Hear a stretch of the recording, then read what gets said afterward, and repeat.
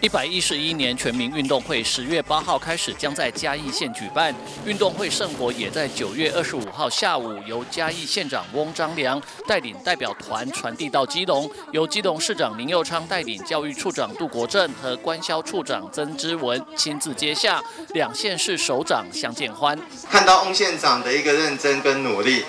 他侃侃而谈整个嘉义县他的愿景、他的擘画、他的施政。所以五星级的这个县长，这个当之无愧。我相信我们所有嘉义的乡亲，大家非常有感。不管是从阿里山上，还是到海边，我们都可以看到翁县长的团队，就整个的县政，它的各方面的区域的发展的均衡，在各个政策的领域都非常的完整，而且积极努力在推动跟进行。嘉义跟基隆实际上关系一直非常好，就像右昌讲的，那我们彼此互相有往来哈。那我特别上一次也特别来看城市博览会，来跟右昌学习。那右昌本身他就是读相关的城市规划，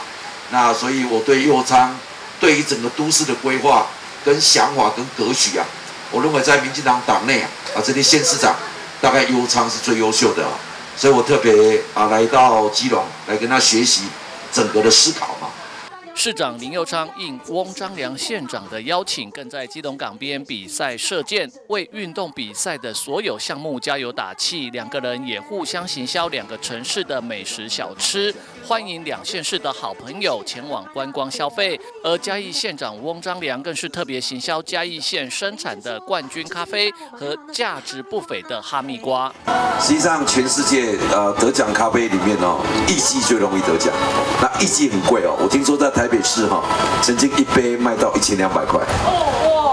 基隆市长林佑昌亲自品尝称赞之外，也表示到基隆行销咖啡就对了，因为基隆人很会喝咖啡。人家讲说那个咖啡有很浓烈是这个浓妆艳抹的贵妇，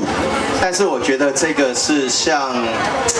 像是很年轻，然后这个化着淡妆，然后穿着非常轻盈的服装的这个少女，所以嗯，